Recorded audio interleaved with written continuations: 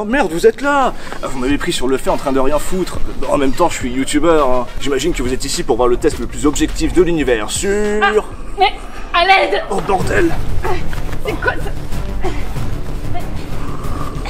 C'est une occasion parfaite pour vous présenter le sponsor de cette vidéo, State of Survival bordel, aidez-moi Tu vois pas que je bosse là?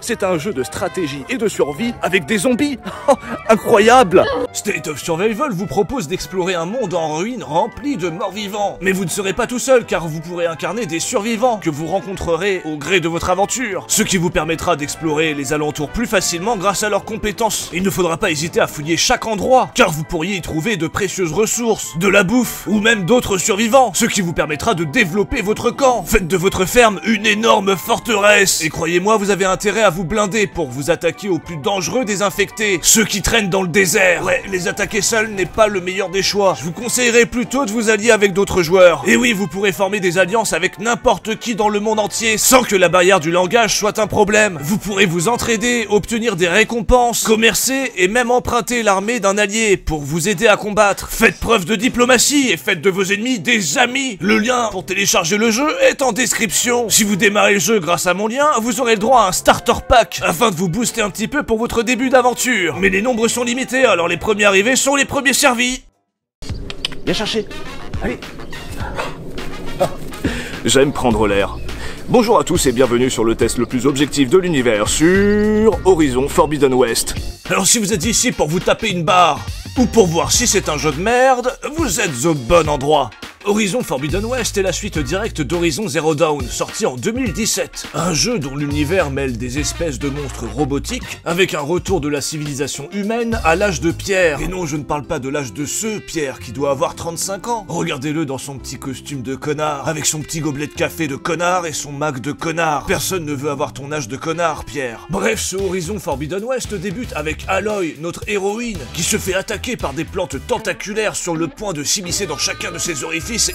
Et non, c'est l'heure de se réveiller, Aloy. Ils sont bizarres, ces rêves, quand même. Mais peu de temps après, on apprend que le monde se fait envahir par une mystérieuse plante rouge qui ressemble étonnamment à du chou rouge. Bon alors c'est une chose de ne pas aimer certains légumes, mais de là en faire l'antagoniste d'un jeu...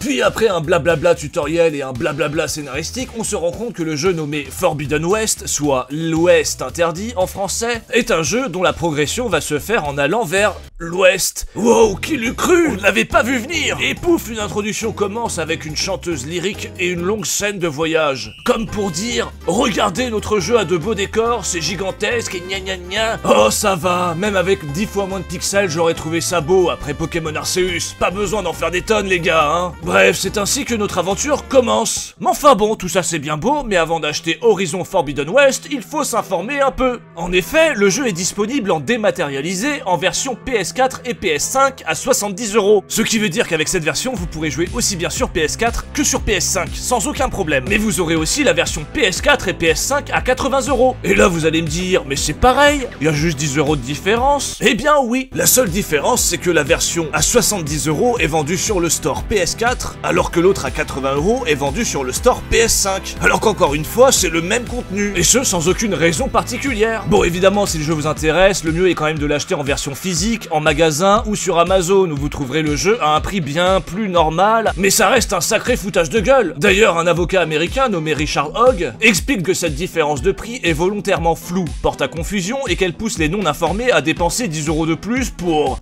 Bah rien en fait, c'est le petit bénéf de 10 balles sur le dos des ignorants. On peut donc dire sans rougir que la version PS4 est supérieure à la version PS5 puisqu'elle permet d'accéder exactement au même contenu sur les deux consoles pour 10 balles de moins. Une old gen supérieure à une next gen. Ah, Fallait le faire bordel Voilà maintenant que vous êtes un peu plus informés, revenons maintenant à Horizon Forbidden West. Et plus particulièrement son gameplay. Commençons donc par ce que vous serez amené le plus à faire, vous battre contre des bestioles robotiques. Alors préparez-vous à des combats brouillons comme dans le premier opus, car nous n'avons toujours pas la possibilité de verrouiller nos cibles. Ce qui fait que quand il y a plusieurs ennemis à proximité, Aloy tape de manière très aléatoire. De plus, la caméra ne suit pas du tout l'ennemi, donc non seulement vous devez vous foutre sur la gueule, mais en plus vous devez jouer le caméraman. Les armes de lancer de leur côté sont pratiques, car elles permettent de viser certaines parties des adversaires, afin de les récolter pour fabriquer des objets spécifiques. Par exemple ici, je récolte une queue pour améliorer mon armure, alors que là j'essaye de récupérer ces couilles de grizzly pour en faire un collier. Vous pourrez, pour vous aider, scanner vos cibles pour savoir ce qui vous sera utile et mettre en surbrillance les objets que vous voudrez récupérer sur les ennemis. Le tout grâce à un tortilla, ce triangle là, qui vous permet notamment de scanner tous les objets et points d'intérêt autour d'Aloy.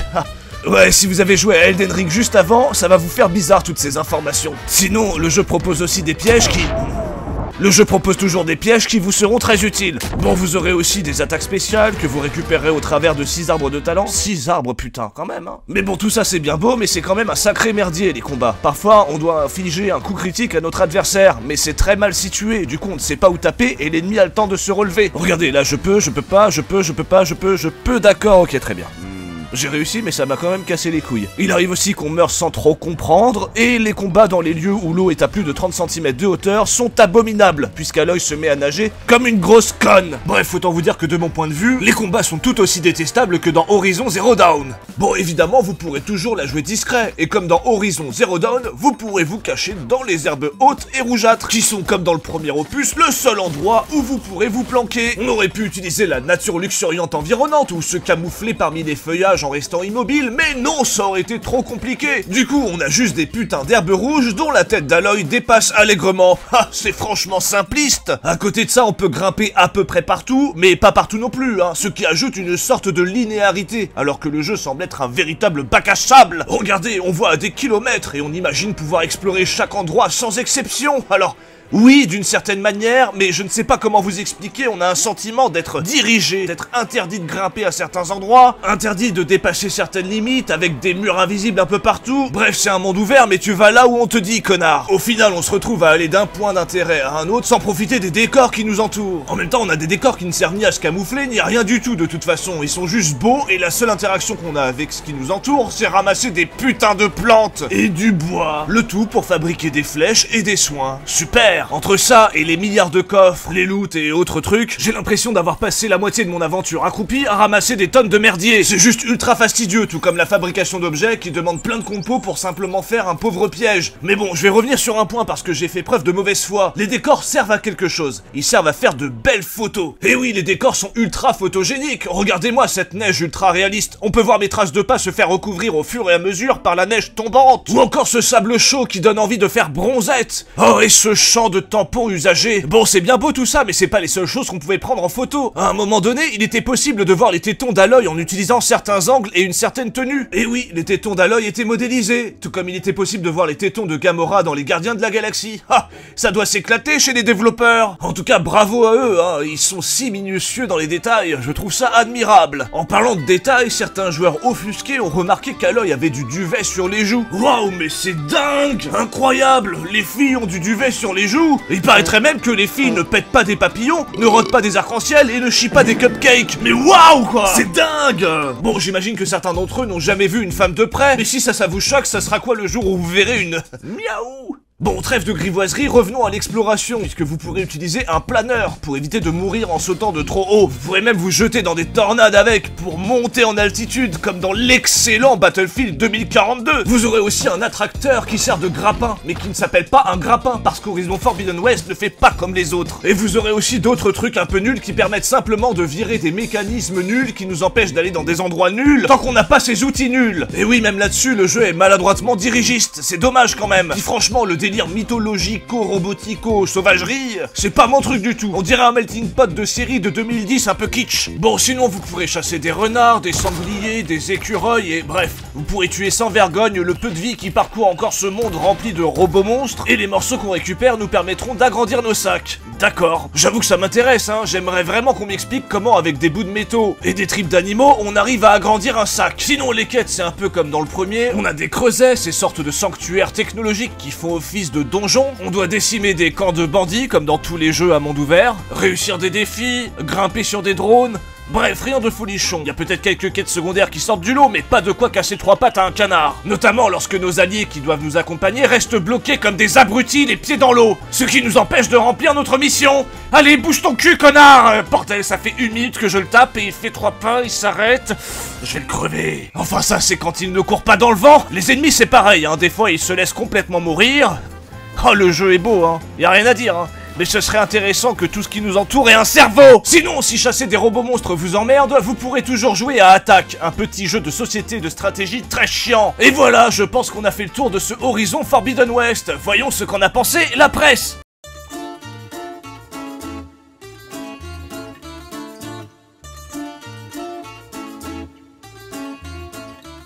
on commence avec jeuxvideo.com qui ont mis la note de 19 sur 20 Une très bonne note Et je vois déjà en point fort, exploration agréable Mais quelle exploration? On reçoit une quête, la carte nous indique où aller en galopant dans des décors beaux, certes, mais anecdotiques. C'est pas ça, explorer Explorer, c'est avoir la surprise de découvrir quelque chose et être récompensé en conséquence. Il faudrait plutôt dire, c'est agréable d'aller d'un point A à un point B. Voilà, là ça fonctionne. Autre point fort, la narration étoffée avec talent. Alors une narration étoffée, oui, avec talent, je sais pas trop. Il y a tellement de blabla dans ce jeu que si j'avais pas passé la plupart des dialogues, je serais encore en train d'écouter un putain de PNJ me raconter sa vie pour finalement m'expliquer que je dois tuer quelques robots monstres. Et blablabla, on est des sauvages et on est entouré de Transformers et blablabla. Et tu me casses la tête avec tes histoires, j'en ai rien à foutre. Et je vois en point faible, petit manque de vraies nouveautés. Effectivement, à part pouvoir voler grâce à une monture et jouer à un jeu de société plus chiant que le Scrabble, y a pas de grande évolution depuis le premier opus. T'as oublié les tétons d'Aloy? Oui, c'est vrai. Comment ai-je pu les oublier? Bon, allez, on passe à Gameblog qui ont mis la note de 9 sur 10. Gameblog qui nous disent Horizon Forbidden West, c'est Disneyland mixé à Jurassic Park.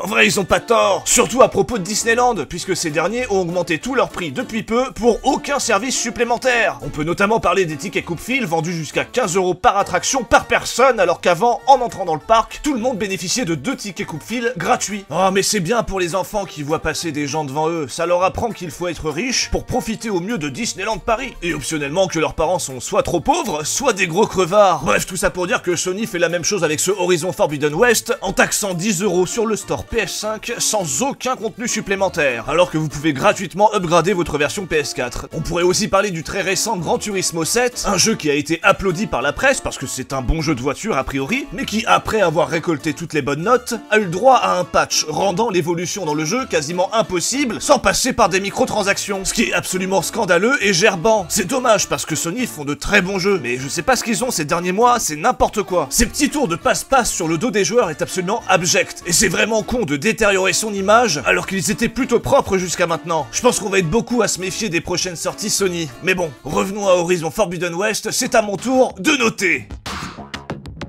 Bon, vous l'aurez compris, Horizon Forbidden West est certainement l'un des plus jolis jeux à monde ouvert sur la forme. Mais dans le fond, il est complètement osef tiers. Gâché par ses combats dont le gameplay est daté et peu original, ce Horizon est en plus franchement dirigiste sur sa narration, avec des choix qui ne servent pas à grand chose, et surtout son level design peu permissif. Je vais pas vous mentir, j'ai apprécié le jeu au début, mais au fil du temps, j'ai eu l'impression de jouer à un jeu vitrine qui tire en longueur. Pourtant, je suis sûr qu'il aurait pu tirer son épingle du jeu si tous les développeurs avaient été aussi pointilleux que celui qui a designé les mamelons d'Aloy. Sur 20 Eh pep, avant de partir, jetez un œil au projet Wonder Woman 1944. Regardez ces belles images. Eh, c'est français et je joue dedans. Bon, je sais que je ne suis pas un acteur, je ne suis qu'un humble youtubeur, mais sachez que tous les rôles principaux sont joués par de vrais comédiens professionnels. Et bon, je vais pas passer par quatre chemins, ce projet a besoin de vous pour prendre forme, alors n'hésitez pas à le soutenir, le lien est en description. On a besoin de vous Voilà, cette vidéo est terminée, j'espère qu'elle vous a plu. N'hésitez pas à vous abonner, à la partager.